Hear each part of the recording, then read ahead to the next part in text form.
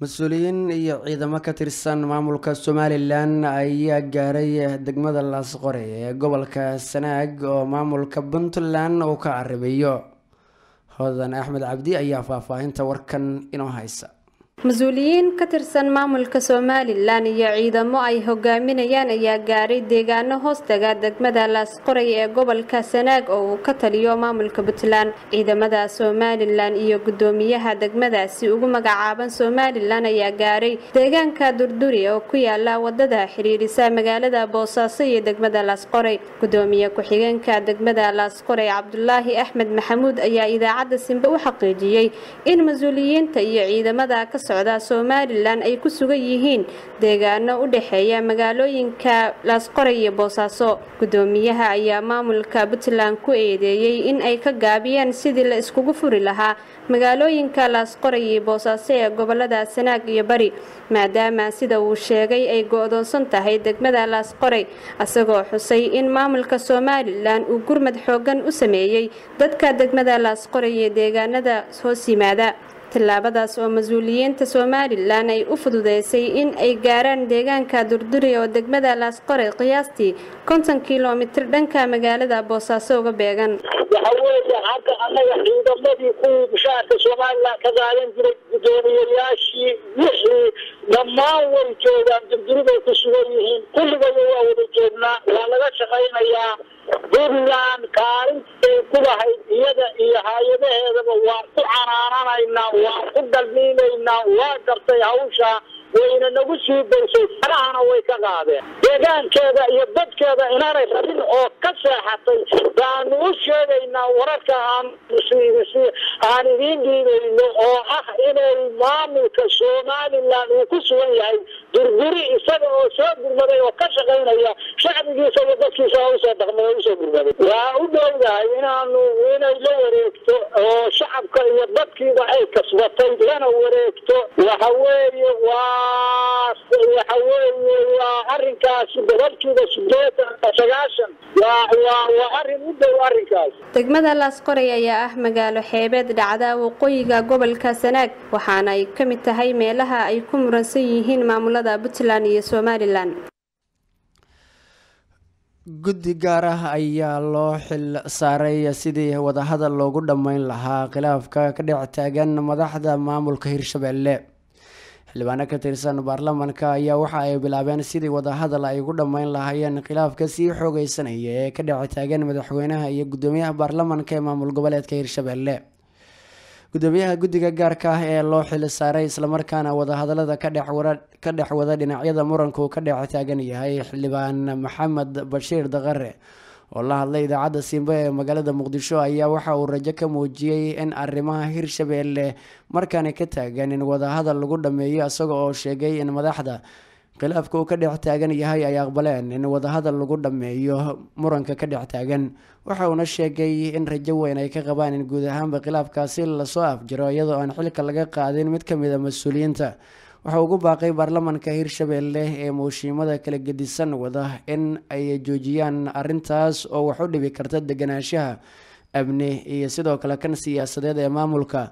Waxau intaa hadalkiisa uu sii raaciyey in labada mas'uul ee ugu sareysa maamulka labaduba ay ka aqbaleen in wada hadal lagu dhameeyo wixii muran siyaasadeeda oo jira. Bismillahi aadaad u mahadsan tahay. Runtii waxa aad sheegayso way jiraan buuqaas uu jiray. Runtii marka anigu waxaan ka mid ahaa xildhibaanada amaan horkacayba xalka doonayay. Buuqii jiray inaan xal qorsheedii ayaan wadnaa. Wadahadal ayaana noo socdo. Wax hadda dhibaato oo taagan oo hadda aan leenahay saacadaana buuq ayaa ka jiro ma jirto. Xalkiina waa noo socdaa. Waxyaabihii la kala tabanayna in laga wada hadlo xalla lagu bedelo ayaa qorsheenu yahay. Madaxweynuhu marka hadda mooshinka la sheegaya ma joogin. Gudoomiyaha baarlamaanku kiis ayuu ku baxay muqdisho ku aaday marka waxaan u ballansannahay waxyaabihii la kala tabanayay in layska qanciyo. Kolba madaxweynuhu markuu yimaado gudoomiyihii soo laabto. Waxyaabihii la kala tabanaayo markaas in laga wada hadlo markaasi go'aan laga gaaro ayaa qorsheenu yahay xaaladuna way degan tahay. Waxaan leeyahay madaxda waxaan u soo jeedinaa wixii lagu ballamay dastuurku waa ballan. Wixii lagu ballamay in lagu dhaqmo lagu shaqeeyo ayaa ummadaan horumar ku gaaraysaa waxaa maalmihii la soo dhaafay muran uu ka taagnaa magaalada jowhar oo u dhexeeyey madaxweynaha iyo guddoonka baarlamaanka ee maamulkaasi. Wadahadalladan ayaana waxaa gacan weyn ka geysanaya sida xogta aanu ku helayno xubnaha golaha wasiirada ka tirsan ee baarlamaanka hirshabelle xubnaha ka ah kuwaasoo doonaya in wadahadal lagu dhameeyo wixii muran oo ka dhex taagan madaxweynaha guddoonka baarlamaanka iyo sidoo kale xildhibaanada oo laba garab u kala jabay islamarkaana muushimo iskasoo horjeeda magaalada jowhar ku diyaariyey ciidamada xoogga soomaaliya ayaa burburiyey gooba al-shabaab ay lacaga sharci darraha uga qaadi jireen dadka shacabka iskaga goosha gobollada shabeellaha hoose iyo sidoo kale jubbooyinka cabdiraxmaan maxamuud cilmi koronto ayaa mar kale faahfaahinaya. Maamulka degmada baraawe ee gobolka shabeellaha hoose ee dowlad goboleedka koonfur galbeed soomaaliya ayaa sheegay in la burburiyo gooba goobo al-shabaab ay canshuurta u qaadi jireen shacabka iskaga kalgoosha gobollada shabeellaha hoose iyo jubbooyinka taliyaha ciidamada booliiska degmada baraawe ee maamulka koonfur galbeed soomaaliya cali maxamed ibraahim oo la hadlay idaacadda simbe magaalada muqdisho ayaa sheegay in ciidamada booliiska maamulka koonfur galbeed soomaaliya iyo kuwa xooga dalka soomaaliyeed ee ku sugan degmada baraawe ee gobolka shabeellaha hoose arrintaasi ay ku guuleysteen. Waxa uu sheegay in meel shan kilomitir u jirta degmada baraawe ee caasimada maamulka koonfur galbeed soomaaliya oo shabaab dadka lacago u qaadi jireen ee weerar ay ku qaadeen labada ciidan islamarkaana halkaas ay khasaaro ugu geysteen xubnihii shabaab ee halkaas ku sugnaa? Bismillahi raxmaan raxiim aniga ku hadlaya magaca ciidamada qalabka sida khaasatan booliska soomaaliyeed. Runtii waxaan dhawaan howlgalaan bilownay soddonka bisha december aan howlgal ka bilownay gobolka shabeelle gaar ahaan caasimada koonfur galbeed soomaaliya halka ay kaga sug yihiin ogista runtii soddonka maalinkeed waxaan aadnay sablaale meel u jirta shan kilomitr runtii halkaas horemaadaan dhexmaray annaga iyo qolay ogist ah runtii halkaas waxaan ku gaarsiinay dhaawac oo aada u annaga dhankeena alxamdulilah aanan soo gaarin. Laakiin kadibsana ku tagna ayaga halkaas kula carareen.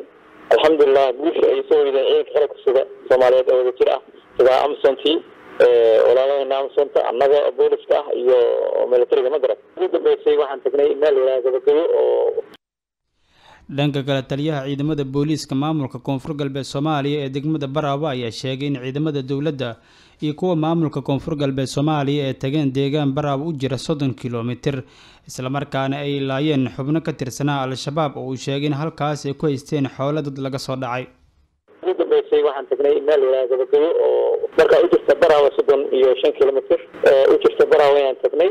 Runtii halkaas waxay ku lahayn checkpointi ay ku aruursanayeen markaas ay shacabka soomaaliyeed ay kaga dhacayeen.